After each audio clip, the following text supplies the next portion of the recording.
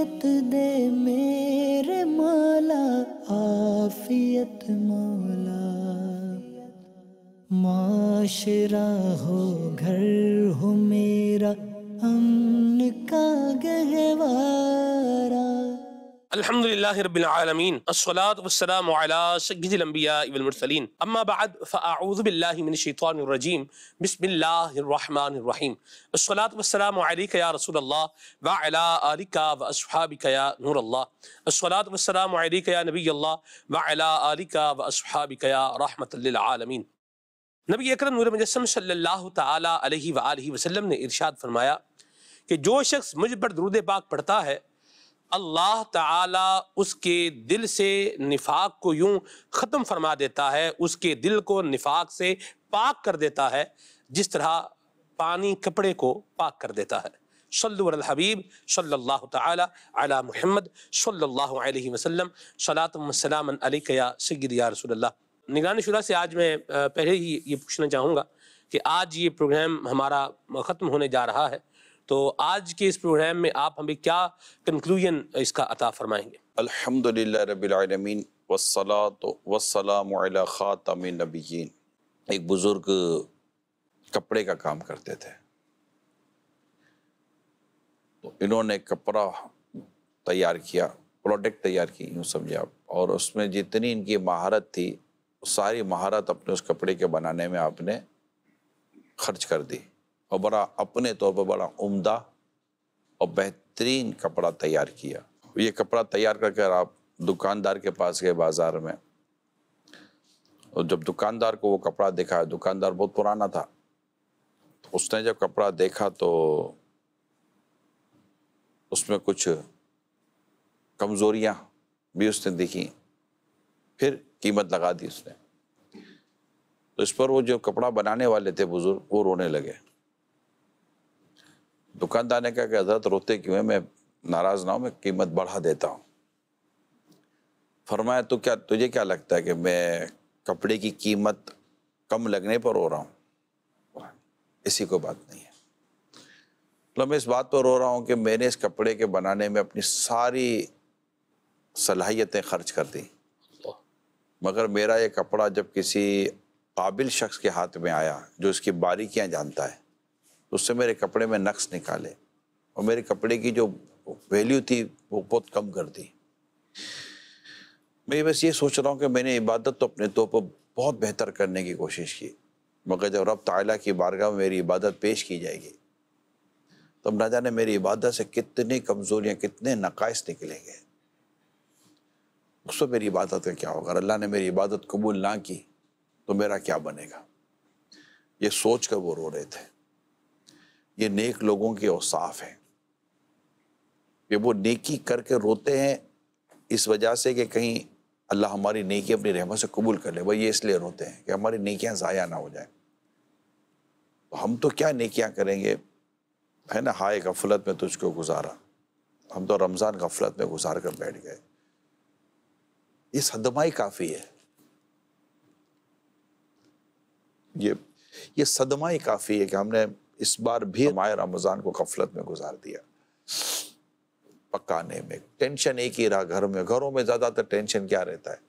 पकाने का। शहर में क्या पकाएँगे? इफ्तार में क्या पकाएँगे? आइटमें क्या क्या होंगी? रोज़ाना का मेन्यू में तब्दील होना चाहिए। रोज़ाना का ये तब्दील होना चाहिए। रोज़ाना का वो तब्दील होना चाहिए। जितनी हमने अपने मेन्यू पर मेहनत की और अपनी मील पर मेहनत की और अपनी गज़ाओं के लज्जतों पर मेहनत की, कोशिशें की, या उसका कुछ हिस्सा हमने अपनी इबादत को भी दिया। कि बेहतर से बेहतर इबादत और खूबसूरत से खूबसूरत इबादत कर सकें। अल्लाह पाक हमारे हाल पर रहम फरमाए। अब तो कहते हैं ना कि दिल मेरा दुनिया पे शैदा हो गया। ए मेरे अल्लाह, ये क्या हो गया? कुछ मेरे बचने की सूरत कीजिए। अब तो जो होना था मौला हो गया। तो अब जो होना था वो तो हो ही गया। खैर, अफसोस करें, नदामत का इजहार करें। अल्लाह पाक की बारगाह में इतराफ़ कर लें कि या अल्लाह हमने तेरे इस मेहमान की कदर नहीं की और इसको गफलत में और गुनाहों में गुजार दिया। मगर तू तो रही मेरा। हमारे किसी गुनाह ने तेरी रहमत को कोई नुकसान तो नहीं पहुँचाया मौला? तो अपनी रहमत से हमारी ख़ताएँ माफ़ करके हमारी इस लम्हे की नदामत को कबूल फरमा ले।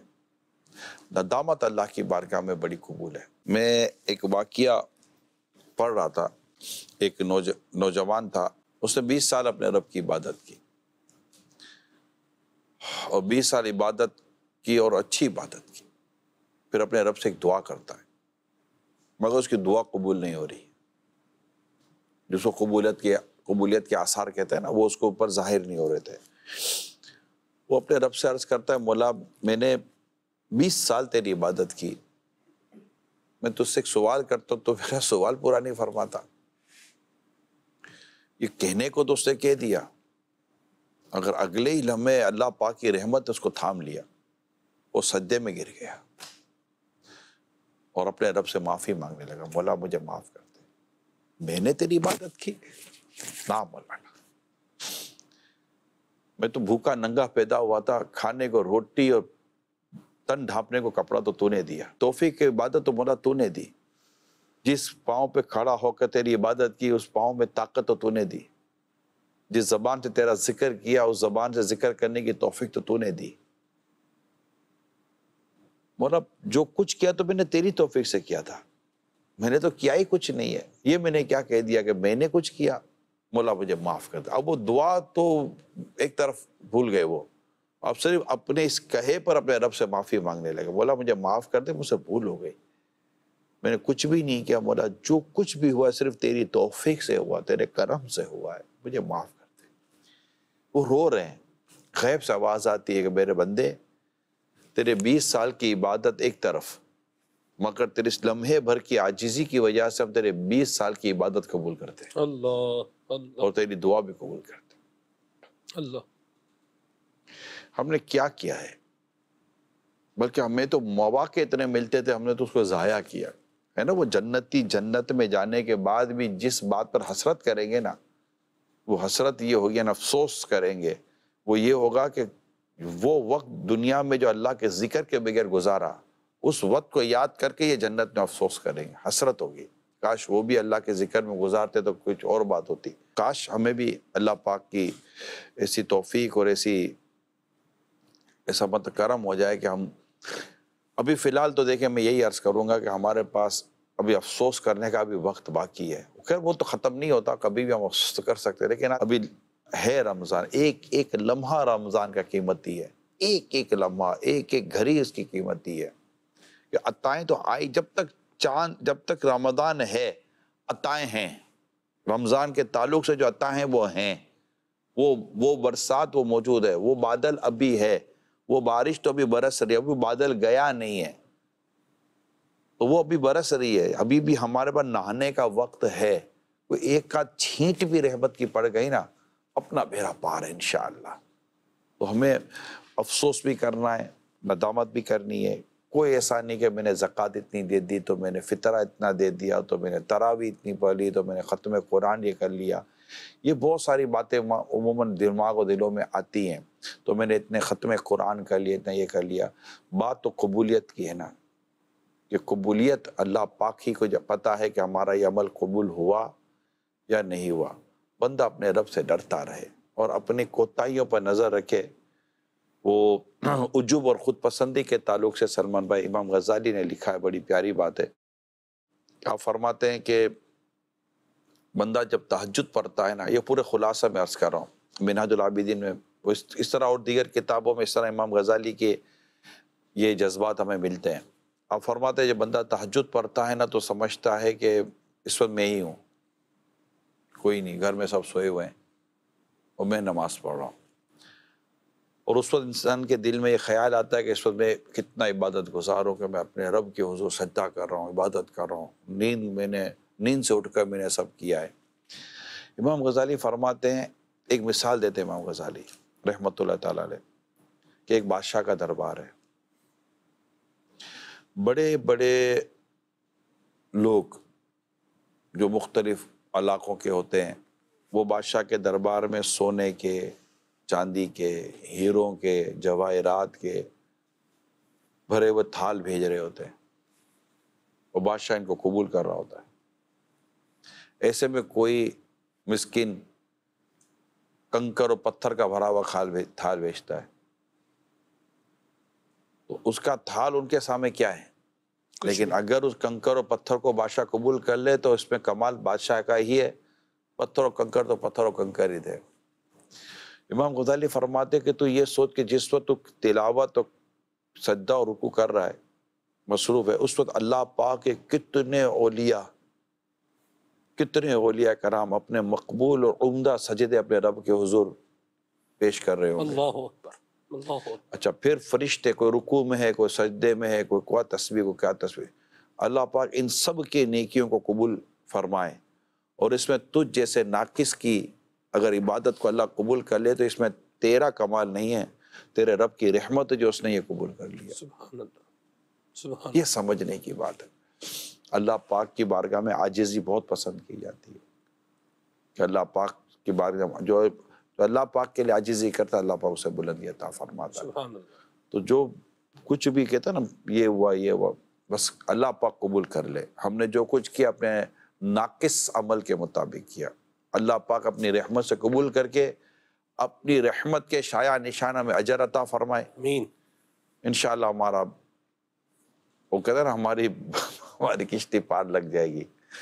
तो ये कुछ थॉट्स हैं जो मैंने शेयर ये प्लस है ये जो मैंने थॉट्स आपको शेयर की है आजिज़ी वाली प्लस है और वो हो कि खुद पसंदी उजूब कि मैंने ये किया मैंने इतना दिया मैंने इतना लिया। अरे मिस्किन तूने तेरे रब के दिए हुए से दिया है। तेरा रब तुझे ना देता तो अच्छा तेरे रब ने तुझे माल दिया, तूने माल खर्च किया। तेरे रब ने तुझे माल देकर तुझे ही तोफीक भी अता की कि तू माल तेरे रब की राह में खर्च कर। ना करता तो तू क्या करता? तो ये अल्लाह पाक की तोफीक है। और जिसने तेरी ज़क़़त कबूल की, इसका शुक्रिया अदा कर कि तेरा माल, तेरा फ़र्ज़ तेरे से अदा हो गया।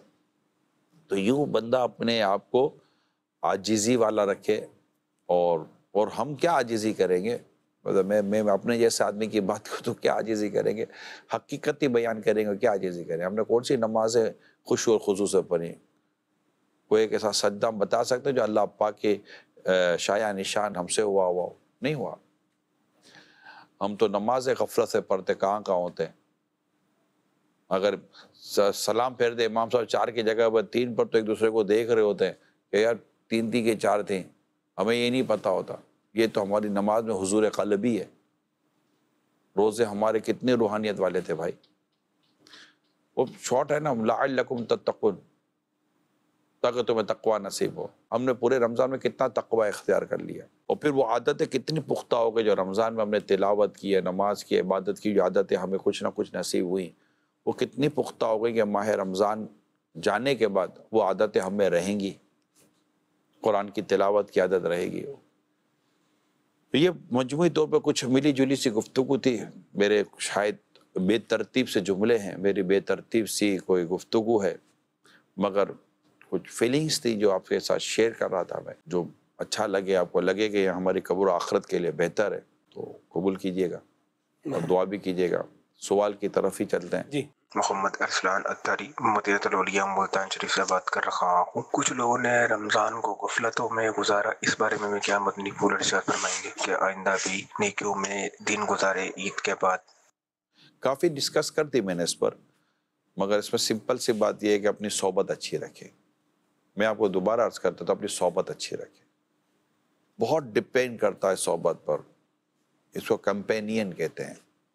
आपकी गैदरिंग पर बड़ा डिपेंड करता है। जब आप एक आशिका ने रसूल मुत्तकी परहेजगार नमाजी और सेंसिबल और रिस्पॉन्सिबल शख्स के साथ आपका उठना बैठना मिलना जुलना होगा तो आप, आप पर उसका असर आएगा। और आप बेबाक के साथ रहेंगे गुनाहों पर जरी होगा गुनाह करता रहेगा। माजल को कोई मतलब की ऐसी परवाह नहीं होगी। उसके साथ रहेंगे तो फिर वो सोबत व मौसर सोबत में असर होता है। और कुरान को हमें वाज तौर पर फरमाता है वो कूनू मादिकीन और सच्चों के साथ रहो। तो आप और हम एक ही काम बुनियादी तौर पर ले लें कि माह रमज़ान, ये रमज़ान का हमें कुर्ब मिला। रमज़ान की गोया के एक तरह से हमें सोबत मिली है। इस माह मुबारक का हमें कुर्ब नसीब हुआ। तो अब ये कि हम इसके जाते, हमारे पास एक ऐसा नेक शख्स होना चाहिए जो जिसके साथ रहें तो हम नेकी करते रहें। हो आशी के रसूल हो आशी के साहबा हो और आशिक अहल बैत ये याद रखिएगा। ऐसा ही होना चाहिए।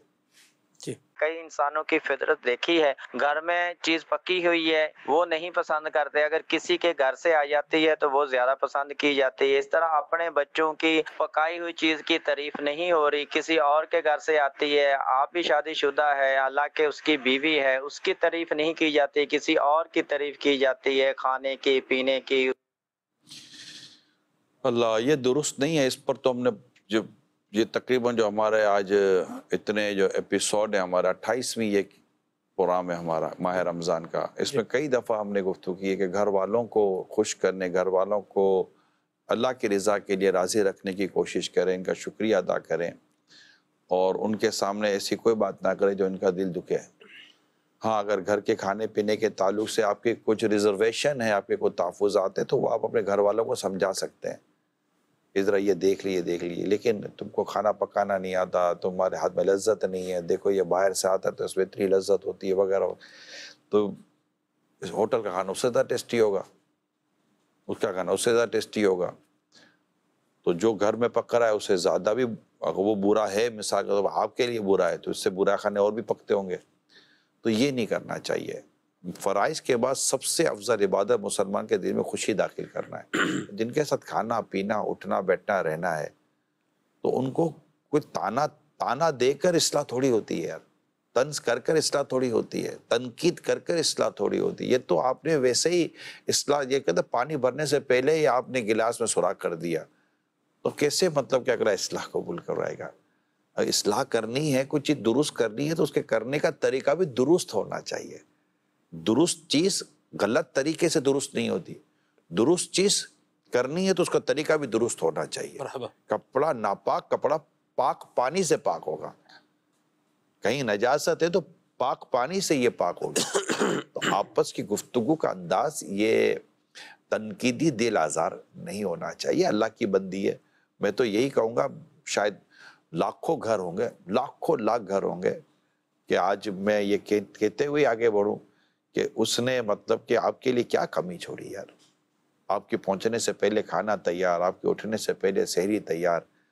और क्या चाहिए? आप उठकर सीधे आगे पीछे चले गए वो दस्तरखान उठाए ये करे वो करे। शुक्रिया अदा कर लो यार। शुक्रिया। शुक, अपने घर वालों को शुक्रिया अदा कर ले। आपका बहुत बहुत शुक्रिया। अब ये टेस्ट है ना टेस्ट के चक्कर में क्यों पड़े यार? क्यों घर का टेस्ट खराब कर रहे हैं? क्यों अपने ताल्लुकात का टेस्ट खराब कर रहे हैं? खाना तो मिल रहा है ना। मेहनत पड़ती है यार। और बाद पानी नहीं है, बाद गैस नहीं है, बाद बिजली नहीं है, इतने सारे मसाइल में रहकर अगर कोई आपके लिए यूँ तैयारी करता है तो आपका मैं भी पक्का कमा कर लाता हूँ। तो भाई वो भी आपका शुक्रिया अदा करते कि आपकी मेहरबानी। यानी आप पहले इसको कहें तो सही कि आपका बहुत बहुत शुक्रिया। आपने माशाल्लाह हमारे लिए सैरी इफ्तारी में इतनी मतलब मेहनत की। अल्लाह पाक आप उसका अजर अता फरमाए और आपकी कोशिशों को अल्लाह कबूल फरमाए, वगैरह करके। अब उसके बारे ये चला वो कह लेगा दी ये क्या शुक्रिया की बात है।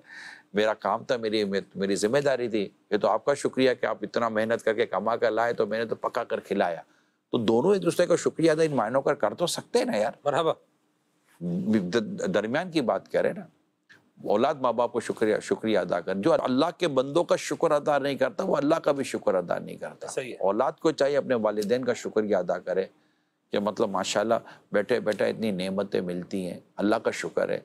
कम मिलती हैं एक डिश मिलती है चार डिशें मिलती है दस डिशें मिलती हैं। या मिल तो रहा है नहीं मिल रहा यार। मिलेगा ना मतलब कि भू ना बगैर खाए हमने रोज़ा रखा अलहमदिल्ला सहरी करके रोज़ा रखा तो मिला। और इफ्तार के बाद हमें पानी भी मिला शरबत भी मिला दो इतना खाना तो मिला ना कि नहीं मिला। कि हमने मतलब माशा अपना पेट भर लिया। तो ये अल्लाह का शुक्र अदा करें। शुक्र गुजारी अल्लाह नसीब कर दे आमीन। नेमतों में इंशाल्लाह तेज़ी के साथ इजाफा होगा। मरहबा। जी कौन? रमज़ान भी अल्लाह की नेमतों में से एक नेमत है। उसने हमें सेहत और आफियत के साथ अता किया। लेकिन हम इसका हक ना अदा कर सके। हमें इस बात का यकीन होता था कि अल्लाह हमें देख रहा है। लेकिन क्या वजह है कि रमज़ान के बाद रिश्वत सूद तकलीफ़ अजियत देते वक्त हम भूल जाते हैं कि अल्लाह हमें देख रहा है? खाली रमज़ान के बाद ही क्या बात है? माह रमज़ान में भी कितनों को याद रहा होगा कि अल्लाह देख रहा है। कई ऐसे होंगे जिन्होंने रमज़ान में भी गुनाह नहीं छोड़े होंगे। अल्लाह हमारे हाल पर रहम फरमाए, अल्लाह तकवा परहेजगारी नसीब फरमाए। मैं दोबारा अर्ज़ कर देता हूँ कि मेरे प्यारे इस्लामी भाइयों, ये जो हमारी फीलिंग है ना कि हम नेकी की तरफ़ नहीं आ पाते, इबादत की तरफ़ नहीं आ पाते, ये अखलाकियात की तरफ़ नहीं आ पाते, मैं आपको अर्ज़ करूँ, ये डिपेंड करता है आपके माहौल पर। अगर आपको एक अच्छी सोबत मिली हुई है, एक बा अखलाक आशिक रसूल अगर आपके साथ है या वो कोई बुज़ुर्ग है जिसके साथ आप उठते बैठते हैं तो आप उसकी आदतों को, उसके मिजाज को देखकर आप अपना मिजाज बनाते हैं। मोमिन मोमिन के लिए आईना है, हदीस पाक है। जब आप अपने से कोई नेक, मुत्तकी परहेजगार, यानी उसकी आदतें और उसका किरदार आपसे बहुत बेहतर है, बहुत अच्छा है। आप उसके साथ बैठेंगे तो अब वो एक आपके लिए आईना होगा। जब उसको देखेंगे तो आपको अपनी खामियाँ नज़र, जैसे हम आईने में खड़े होते हैं तो हमें हमारी खामियाँ नज़र आती हैं। और चेहरे के दाग जो है ना ये खुद अपनी आँखों से तब तक नज़र नहीं आते जब तक सामने आईना ना हो। वाह। ये याद रखिएगा। तो चेहरा दागदार होता है। हाँ सामने आईना साफ़ होना चाहिए। जैसे मेरा पीर है आईना शफाफ होना चाहिए। वरना बाज औकात बंदा जिस आईने में देख रहा होता है ना तो दाग उसमें नहीं होता दाग आईने पर होता है। अब आईने में कोई काला नुक्ता लगा हुआ है और आप अपना मुँह ही साफ़ करते रहेंगे, कुछ नहीं होगा। सामने आईना में दाग लगा हुआ है, आईना साफ़ होना चाहिए। तो जो किरदार हो ना, जिसको आपने अपने लिए एक आईने के तौर पर लिया, वो साफ़, शफाफ, मुत्तकी परहेजगार हो। आप रखें ऐसी सोबतें, ऐसी दोस्तियाँ, ऐसी बनाएँ। फिर देखिए इन ताला हमारी सेहत, हमारी तबीयतों में, हमारी सोचों में फ़र्क आता है कि नहीं आता। इन आएगा। जी कौन सर, मुनीर अहमद बात कर रहा हूँ खैबान सर सैयद ढोक नजूर रावलपिंडी से। मैं आपको प्रोग्राम बड़े गौर और शौक से देख रहा हूँ और अल्लाह ताला हाजी इमरान साहब को लंबी सेहत और ज़िंदगी अता फरमाए। मैं आप दोनों से बड़ा खुश हूँ। अल्लाह ताला आपको जजा दे और अल्लाह ताला आपको ये कार खैर के जो है कबूल फरमाए। अल्लाह ताला हम सबको ना, रमज़ान के बाद भी ना, ऐसे ही अमली काम करने और नए काम करने में तोफ़ी अता फरमाए। आमीन आमीन आमीन। बहुत बहुत शुक्रिया आपका। बहुत बहुत शुक्रिया। अल्लाह आपको जजा खैर दे, अल्लाह पाक दुनिया आखरत की भलाई आपका मुकदर करे। अब तक के पूरे प्रोग्राम में ज़ाहिर बात है, बंदा बोलता है तो गलतियाँ भी करता है। किसी को हो सकता है मेरी किसी लफ्ज़ से, किसी बात से, किसी रवैये से, किसी अंदाज से, किसी बॉडी लैंग्वेज से अगर हो सकता है, अल्लाह ना करे आपको कोई तकलीफ़ पहुँची हो। या आज तक किसी भी मेरे, किसी भी अंदाज से, किसी बात से, अगर किसी को भी मेरे रिश्तेदारों में, ख़ानदान में, घर में, दोस्तों में, तंजीम में, नाजरीन में, जिसको भी, अगर अल्लाह ना करे मेरी वजह से कोई तकलीफ़ पहुँची है तो मैं आप सबसे हाथ जोड़कर माफ़ी का तालीम हो मुझे माफ़ी कीजिएगा और मेरे लिए दुआ भी कीजिएगा कि मैं बेहिसाब बख्शा जाऊँ और अल्लाह पाक मुझसे हिसाब किताब ना ले और बस माफ़ कर दे। बस वो, है ना, तूने दुनिया में भी ऐबों को छुपाया या खुदा, हशर में भी लाज रखना, तू खुदा सत्तार है। काश हम बेहिसाब, मैं तो बस ये भी दुआ करूँगा अल्लाह पाक करे कोई तो आमीन कहने वाला नेक बंदा होगा। ये अल्लाह जितने भी आशिकान रसूल हमारे साथ इस प्रोग्राम में शामिल है, जिन्होंने हमारा प्रोग्राम देखा, हम तमाम को बेहिसाब माफ़ कर दे, बेहिसाब बख्श दे और मगफरत से नवाज़ दे। मेरे जितने भी इस्लाम भाई स्टूडियो में खिदमत देते रहे, आगे पीछे खिदमतें देते रहे, काम करते रहे, अल्लाह सबको बेहिसाब बख्श दे। तो बेहिसाब बख्श के हैं बेशुमार जुर्म। देता हूँ वास्ता तुझे शाह हिजाज का। सल्लु हबीब और बस अपने घर में मोहब्बतों के साथ रहें, प्यार के साथ रहें, एक दूसरे का अदब करें, हक अदा करें। खुदा न खासा कोई बदतमीज़ी हो जाए, बद अखलाक़ी हो जाए, ऊँची बात हो जाए, बीवी की शोर के साथ, शोर की बीवी के साथ, औलाद की माँ बाप के साथ माँ बाप की औलाद के साथ कोई ऐसा गलत रवैया हो जाए, सास बहू में हो जाए, नंद भाभी में हो जाए, कोई भी आपस में ऐसा हो जाए दरगुजर माफ़ी से काम ले, माफ़ी से काम ले और प्यार मोहब्बत से रहे। होता है घर में जब, कहते हैं ना जब घर में चार बर्तन हो तो बचते रहते हैं। तो ठीक है, फिर एक दूसरे के साथ बंदा माफ़ी तलाफ़ी भी करता रहे। अच्छा है, माफ़ी तलाफ़ी करता रहे। बाज़ वक्त होता है, लोग कहते हैं, इसकी तो आदत हुई है। तो भाई, आदत माफ़ी की भी तो हुई है, कईयों की तो माफ़ी की भी आदत नहीं होती। बोलने के बाद पछताते भी तो नहीं है, ऐसे भी तो लोग हैं।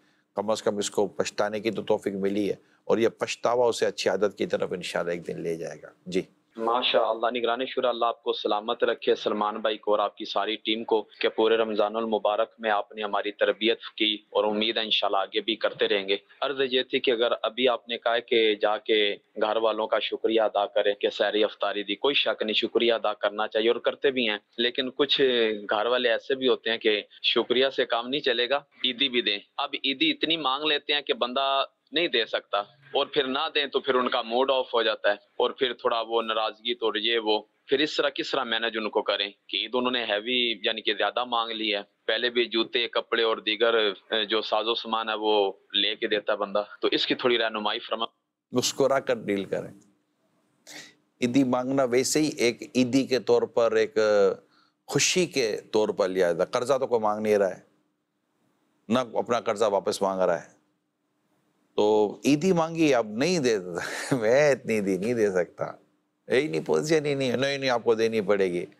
ये है। ले लें प्लीज़ ले लें। यूँ करके थोड़ा सा प्यार मोहब्बत से करें। अपने को गुस्सा करने की क्या ज़रूरत है? पत्थर से पत्थर टकराएगा तो चिंगारी निकलेगी।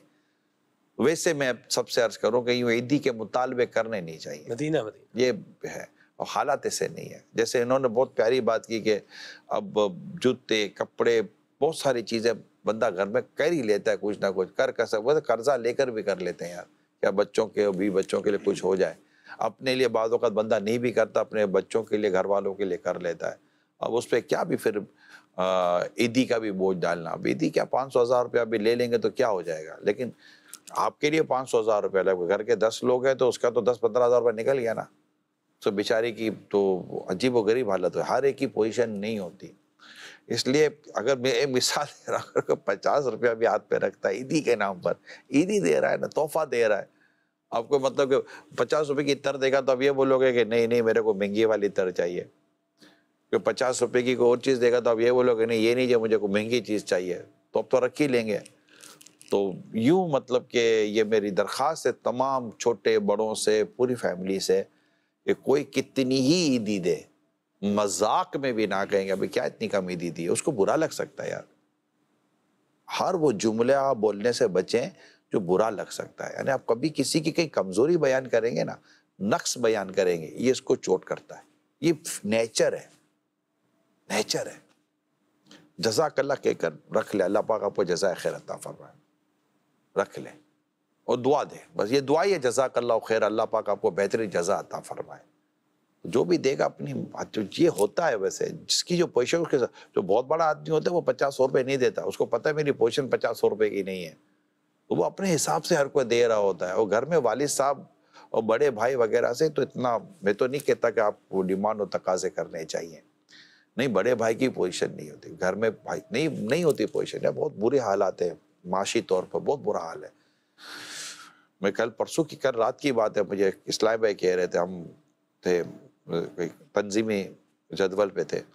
तो बहुत पब्लिक का बुरा हाल है। यानी वो ज़्यादा आवाम में होंगे बहुत पब्लिक का बुरा हाल है। पब्लिक बिल्कुल जैसे कहते हैं ना कि परेशान है जो है और यह अक्सरियत की बात शायद हो है। तो अब इन हालात पे क्या यार मांगना? बल्कि आपस का यह मशवरा करके इस बार आप हमें ईदी ना ही दें तो बेहतर है। क्यों नहीं? पूरा साल घर में खाते पीते मौज करते अल्लाह का शुक्र है। ईदी ना ही दे तो बेहतर है। घर में घर में क्या भी बच्चों बच्चों में ईदी देनी अब वो दे दे तो बेहतरीन है। कम अज कम उसके लिए तो आपका ये बोलना उसके लिए कितना बड़ा बोझ उतार देगा जरा सोचा है आपने? मदीना कि आपने इतना तो दिला दिया इतना तो कर दिया ये तो कर दिया। पूरा महीना माशाल्लाह इतना खाया पिया फल फ्रूट आए ये सब हुआ। अल्लाह पाक आपको जजाय खैर दब क्या ईदी में रखा है? बस आप दुआ दे दे। अब वो मुस्कुरा कर देख ले। हमें दुआ दे दे। बाप की दुआ औलाद के हक में कबूल होती है। तो यू करके एक घर में एक अच्छा माहौल बनेगा। फिर भी कुछ ना कुछ वाले साहब दे ही देते हैं। ऐसा तो है। ना भी दे तो ठीक है तो खुद बाप का होना है क्या कमी दी है? कि बाप का वजूद अल्लाह पाक ने सलामत रखा है कि ये खुशी की बात कम है कि आज औलाद अपने माँ बाप के साथ ईदी मना ईद मना रही है। ये कितनी बड़ी ईदी है कि माँ बाप की दुआएँ आपको मिल रही हैं। तो ये क्या पैसों में क्या रखा हुआ है? बस एक हमारा एक माहौल बना हुआ है ईदी का और एक खुशी का एक इसको भी एक हिस्सा बना दिया गया है। लेकिन ज़ाहिर है कि अब अगर नहीं है पोजीशन नहीं देना चाहता तो वो शर्मिंदा तो ना हो ना, ऐसा तो ना करे अब ईद का दिन है, खुशी का दिन है, ईदी के नाम पर किसी को शर्मिंदा करना तो ये उसके बिल्कुल खुशी में बाकायदा आपने एक, वो गड़बड़ कर दी है। अल्लाह करे दिल में उतर जाए मेरी बात। ऐसा अल्लाह आपको बरकत दे। आपने ये इतनी बड़ी बात कही है ना ये शायद देखने सुनने वालों ने इसका नोटिस नहीं लिया। शायद मैं भी इसका इतना नोटिस ना लेता। जो आपने फरमाया ना कि माँ बाप के साय में या वाले साहब के साथ जो है वो ईद मना रहे हैं क्या ये क्या कम है? ये बात अगर जो मैं जिस सिनेरियो से गुजर गुजर के आया हूँ अगर ये ना होता तो शायद मैं भी इसको इतना उस पर जाके फील ना करता। हमने ईद के लिए प्रोग्राम रिकॉर्ड किया है यतीम और बेसहारा बच्चों के साथ। और आप यकीन माने मतलब वो उन बच्चों को देख करके ये इस चीज़ का आप आपका जुमला मुझे उधर वो सारी चीज़ें मुझे याद आ गई और मेरे दिमाग में लग गया कि वालिद वालिदा हैं हमारे सर पर हैं हम इनके साय में हैं इनके पास हैं इनके साथ रह रहे हैं। ये भी अल्लाह की बड़ी नेमत है और ये भी यकीन यकीनन ही दी है। इनमें वो भी बच्चे होंगे जिनके माँ बाप ज़िंदा होंगे जी हाँ मगर वो बेसहारा हो गए होंगे हम उनका ज़्यादा तस्करा नहीं करते। उनसे बच्चों से जाकर कोई पूछे कि बेटा ईदी चाहिए कि माँ बाप चाहिए? अल्लाह मतलब उसके सामने आप खजाना रख दो ना वो बोलेगा मुझे माँ बाप चाहिए।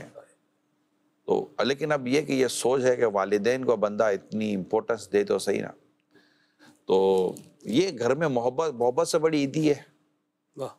आपस की मोहब्बत है मुस्कुराना सदका है। एक मुसलमान मुसलमान भाई को देखता है वो मुस्कुरा का सदका है। तो ये ये तब ये है, खाली पैसों में खुशियाँ क्यों हम ढूंढ रहे होते हैं? कि नोट पे कभी खुशी होती है? ये नोटों ने तो कईयों को गम दिया हुआ है। ऐसा ही ये नोट क्या बोलता है यार? वो कहता है यार हो तो चले जाने का गम और ना हो तो भाई है नहीं अब इसका गम। तो बस वो कहता है आप है तो सब कुछ है। वाह। वो ये मतलब एक जज्बात की बात कह रहा हूँ। वाह वाह। तो यूँ आपस की मोहब्बतें हों हम मुस्कुरा के बात कर रहे हैं मिल रहे हैं ईद मुबारक कह रहे हैं तो ये मदीना मदीना अच्छा हो रहा है। मरहबा माशाल्लाह कौन प्यारे निगरानी शुरा अलहमदिल्ला माशाल्लाह, आपका माह रमज़ान में सिलसिला प्लस माइनस। बहुत खूब रहा, मेरी नाकिस अर्ज़ है कि अगर माह रमज़ान के बाद भी अगर कोई दिन ऐसा जिसमें एतवार या जुम्मे को मगरब से ईशा के दरमियान आप वक्त अता कर दें और कोई ख़ानदानों में मोहब्बत बढ़ाने के लिए, घरों में मोहब्बत बढ़ाने के लिए आपका कोई सिलसिला आ जाए? क्योंकि आपकी गुफ्तु सुनकर अल्हम्दुलिल्लाह घरों में, ख़ानदानों में जो मसाइल होते हैं, अल्हम्दुलिल्लाह हल होते नज़र आते हैं। तो नाकिस मशवरा कोई सिलसिला हो, उसका प्यारा सा नाम हो, ख़ानदान से मोहब्बत बढ़ाने की नस्बत से अल्लाह ताला हमारे निगरान शुरा को सेहत दे, आसानी फरमाए, मजीद मुर्शिद कामिल के सदक़े हमारे निगरान शुरा को खूब दिन की खिदमत का जज्बा अता फरमाए। बहुत बहुत शुक्रिया, बहुत हौसला अफजाई की आपने, अल्लाह पाक आपको इसका अजर अजीम अता फरमाए। असल में जैसे प्लस माइनस तो ऐसे और कई प्रोग्राम, नाम उनके फॉर्मेट, उनका कंटेंट, ये सब हमारे मशवरे हो रहे होते हैं। लेकिन सच्ची बात है मेरी भी इसमें सुस्ती के गफलत के या दूसरा अगर आप कहें तो कुछ मसरूफियत कह लें आप, कि प्रोग्राम हो नहीं पा रहे इतने। वरना ये, है मुझे, मैं एक दफ़ा Memon community all Pakistan Memon federation में मेरा बयान था, उनके ऑडिटोरियम में। तो इनके काफ़ी ऑफिशियल्स लोग जमा थे तो मुझे उन्होंने कहा था आप आइएगा। तो मैंने इस मौजू पर घर आबाद करने, तलाक ना हो, तलाक के इसबाब और लेना देना, जहेज, इन तमाम, मैं भी मेमन हूँ तो हमारी मेमन बिरादरी में भी ये बात चीज़ें अजीब व गरीब आई हुई हैं। तो मैंने इस पर बयान किया। तो मुझे उन्होंने ये कहा था, यार, हफ़्ते में एक दफ़ा आप ये बयान करो, ताकि हमारे यहाँ तलाक कम और घर वो हो। तो फिर उसके बाद हमने कुछ सिलसिले किए भी थे। मेरा एक प्रोग्राम है, वीडियो है, इस्लाम और शादी। ये इसके एपिसोड हैं, ये यूट्यूब पर आपको मेरा ये पूरा सिलसिला मिल जाए। मैंने इसी नीयत के साथ ये किया था यालूम और कई, माशाल्लाह, किताबें, कुरान, हदीस, इसके साथ ये बयान करने की कोशिश की थी कि शादी से पहले शादी के दिनों में शादी के बाद और जब कैसे हालात फिर ख़ानदानों के ताल्लुक से तो ये सब हुआ है। लेकिन आपकी हौसला अफजाई भी सद करो मरबा आपका मशवरा भी सद करो मरबा माशाल्लाह इतवार को एक प्रोग्राम होता है घर और माशरा। हमारे रुकन शुरा जी मोहम्मद अली होते हैं और और भी इस्लामी भाई होते हैं। इतवार को ग्यारह बजे होता है सुबह इतवार को। जी। तो ये प्रोग्राम भी देखिए ये घर और माशरे को बेहतर करने के ताल्लुक से ये प्रोग्राम होता है। ताहम अमीर सुन्नत के बंदी मज़ाक इस मौजू पर हैं और इन हम भी गौर कर लेते हैं आपका मशवरा सबको और मैं ये भी अर्ज़ कर दूँ कि आपने जैसे इन्होंने मशवरा दिया मैं तमाम नाजरीन से दरख्वास्त करता हूँ। आप मदनी चैनल पे क्या देखना चाहते हैं? मेरी दरख्वास्त है आपसे आप अपना मशवरा दिया करें। तो आप बिल्कुल भेजें अल्लाह ने चाहा तो हमें इसका फ़ायदा हो सकता है इन कई प्रोग्राम हमने ऐसे ऑनर भी किए आपस के मशवरों में। इसी तरह एक हमारा प्रोग्राम था आपका मदनी चैनल। उसमें भी माशाल्लाह आपकी राय आती हैं तो उसके हिसाब से फिर मशवरे होते हैं मस्जिद के। तो ऐसा है अल्लाह का शुक्र है। जी। आजकल देखा ये गया है, यहाँ कुछ बहस हुई और तलाक हो गई। दो साल, तीन साल के बच्चे होते हैं जो माँ बाप के हयात होते हुए भी यतीमों वाली ज़िंदगी गुजारते हैं। लेकिन माँ बाप की जो है वो यही एक चीज़ होती है कि मैं जंग जीत जाऊँ, मैं जंग जीत जाऊँ। माँ बोलती है, मैं जंग जीत जाऊँ बाप बोलता है, मैं जंग जीत जाऊँ लेकिन औलाद की पूरी ज़िंदगी जो है वो दाव पर लग जाती है। देखिए, ये होता है और हमने इस पर पूरा प्रोग्राम किया है। इसमें मैं एक मशवरा ये दे दूँगा। मशवरा देता हूँ या यूँ समझे कि आपके सामने एक बात रख देता हूँ। आप दोनों में नहीं बनती। दोनों के अल्लाह ने आप दोनों को औलाद दी है, मगर आपकी बनती नहीं है। मैं एक ऐसे कहने को कह रहा हूँ, जिसको अपनी औलाद से जितनी ज़्यादा मोहब्बत होगी ना, वो इतना खामोश हो जाएगा। कि यार, मैं बोलूँगा तो मेरी औलाद रुल जाएगी। आपको आपकी औलाद से बहुत मोहब्बत है, आप खामोश हो जाए घर चलाएँ। जबकि शरीयत आपके जुदा होने को लाजिम करार ना दे दे। घर चलाएँ। औलाद को देखें कि हम दोनों को अगर अलग हुए तो जो उजड़ेगा ना सबसे ज़्यादा, वो ये मेरी औलाद होगी। तो आपको आपकी औलाद की मोहब्बत एक दूसरे के साथ बना कर रखेगी। ठीक है थोड़ा कंप्रोमाइज़ करके चल रहे हैं नहीं वो हालात हैं, फिर भी चल रहे हैं। वो घर चलाएँ। घर चलाएँ। औलाद को उजरने से बचाएँ। ये बुद्ध को सही कह रहे हैं। आपको बेसहारा घरों में जो बच्चों के घर होते हैं, जहाँ बच्चे पलते हैं, बल्कि सड़कों पर ऐसे कई बच्चे मिलेंगे कि जिनके माँ बाप आगे पीछे हो गए और उनका कोई खानदान में और रिश्तेदारों में भी संभालने वाला नहीं था और वो चले गए। या फिर माँ ने रखा तो बाप का बाप पे नफरत करने लगा, बाप ने रखा तो माँ से नफरत करने लगा। औलाद फिर क्या स्टैंड क्या करे औलाद? तो इसलिए इन हालात को इस तरह इस इस अंदाज से देखिए यार अपनी औलाद सड़क पर आ जाएगी अपनी औलाद कहीं के नहीं रहेगी। और तो बस बंदा फिर एक वक्त आता है शादी के कुछ ही अरसे के बाद बंदा फिर अपने लिए नहीं जीता अपनी औलाद के लिए जीता है। अपनी औलाद की तरबियत और उसके मामला के लिए जी रहा होता है। जी। मेरा सवाल ये है कि कहा गया है कि औरत जो है वो पसली से बनी हुई है, उसे सीधा करने जाते हैं तो वो टूट जाती है। तो अक्सर ऐसा होता है कि वो बात को समझती नहीं है समझना आप कोई भी बात उनको समझाने जाते हैं तो वो उल्टा ही मतलब दिया जाता है। रहनुमा फरमाया उनको किस तरीके से समझाया है हदीस में ये बात मौजूद है, जो आपने कहा है। अब मसला ये है कि जब हमें ये बात पता है, और हमें इसका अंदाज़ा है कि ये कुछ बोलना चाहेगी बोल ऐसा सब औरतें ऐसी नहीं होती। ये भी आपको बता दूँ। सब औरतें नहीं होती। हज़रत आयशा सिद्दीक़ा रदी अल्लाह के बारे में क्या कहेंगे? दीगर उम्मातुलमोमिन के बारे में क्या कहेंगे? ऐसी कई सालिहात गुजरी हैं इनके बारे में क्या कहेंगे? कई मर्दों से ज़्यादा अक्ल वाली और समझदार माशाल्लाह ऐसी आलिमा मुफ्तिया हमारे इस्लामी माशरे में गुजरी हैं ठीक है ना? लेकिन हम एक जनरल बात करते हैं। ऐसा ही है? ऐसा ही। ऐसा ही है। अब मतलब कि अगर किसी के साथ ऐसा अल्लाह ना करे है कि उसकी औरत का ये मिजाज है और होता है। होता है, ठीक है? जब पता है कि ये मिजाज है। रसूल पाक सल्लल्लाहु अलैहि वसल्लम की हदीस मौजूद है, मेरी लिए तरबियत मौजूद है। तो फिर उसको उसके अंदाज से टैकल करें, उसके अंदाज से हैंडल करें।